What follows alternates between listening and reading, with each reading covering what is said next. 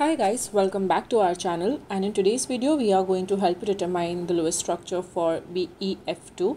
It's a chemical formula for beryllium fluoride and to find out its Lewis structure I am first going to calculate the total number of valence electrons.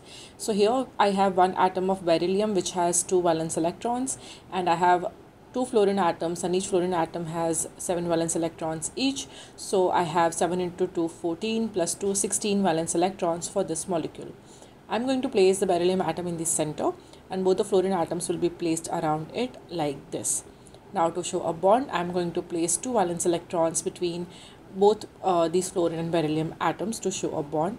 So doing that, I am using up 4 out of 14 4 out of 16 valence electrons and now I'm left with 12 valence electrons.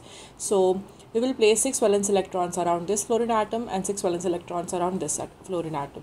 Doing that we will be using up all our valence electrons and as a result there is a single bond between beryllium and fluorine. Now a lot of people might question why doesn't beryllium have a complete octet? Why does it only has why why is beryllium atom only having four valence electrons?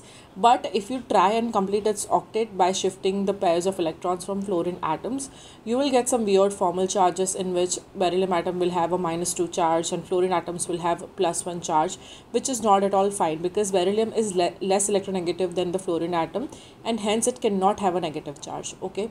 By uh, opting for this Lewis structure we have formal charges of 0 on all atoms. So if we calculate the formal charge for um, fluorine and beryllium atoms in this structure the charges will be 0 and it's fine if it has 4 valence electrons in its outer shell because it is an exception to the octet rule and hence it can do with only 4 valence electrons in its outer shell. So this is the Lewis structure of BeF2 in which beryllium forms two single bonds with two fluorine atoms and I hope this video helps you to understand that. For more such videos on Lewis structure, molecular geometry, polarity of the molecules, make sure to subscribe to our channel and thank you for watching.